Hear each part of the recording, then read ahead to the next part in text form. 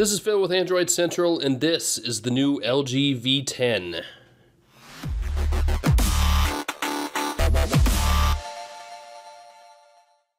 So forget what you think you know about dual displays on smartphones. Forget the failed attempts that have come before. This is the LG V10. It's a new product line for the Korean manufacturer with a number of new features and, yes, a secondary display that actually doesn't suck.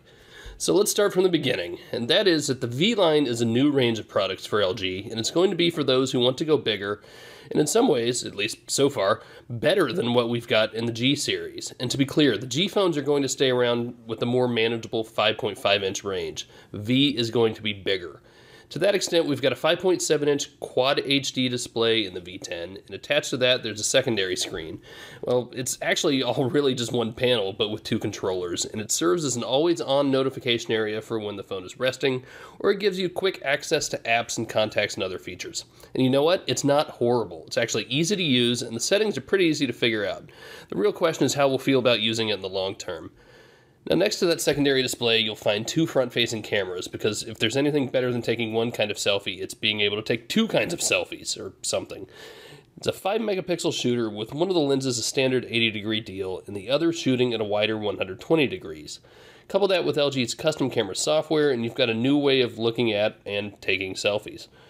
The V10 also is LG's first metal smartphone. It's using grade 316L stainless steel, not aluminum, it's calling it DuraGuard, and it's combining that with a silicone-based DuraSkin. And that means you get a pretty strong frame and shock-absorbing rubber that should help with any accidental falls.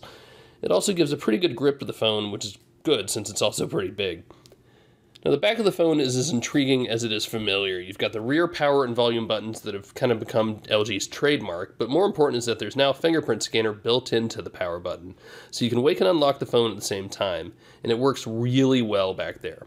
Software wise, this phone is launching with Android 5.1.1 Lollipop, but LG says it hopes to get the Android 6.0 Marshmallow update out by the end of the year. There are also some new camera features this time around. Most notably is that you can have manual control over video recording, and note how the camera app makes smart use of the secondary display for all this. And you've got new video highlight features that are very akin to the Zoes and highlights of old and LG has made it really simple to share pictures and videos directly from the camera app. No more hunting for share buttons in the gallery. A few other specs of note, the V10 has a 3000 mAh removable battery. It comes with 64 gigabytes of onboard storage. It takes micro SD and it's powered by a Snapdragon 808 processor with 3 gigabytes of RAM. So in a nutshell, we've got a newer, bigger, and in many ways better version of the LG smartphone. The secondary display has some real promise. The already excellent camera is getting even better, and now there's a rear fingerprint scanner in exactly the right spot. And yes, you can now double your selfie pleasure with the LG V10.